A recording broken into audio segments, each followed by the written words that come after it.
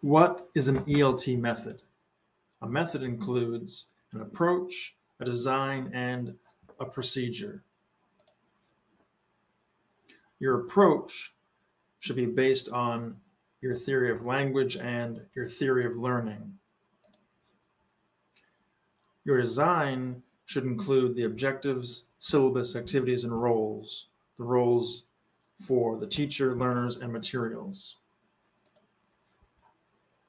Your procedure is what you actually do during the lesson. you can check out my video on this topic on my YouTube channel, Jeff's Language Learning. Thank you.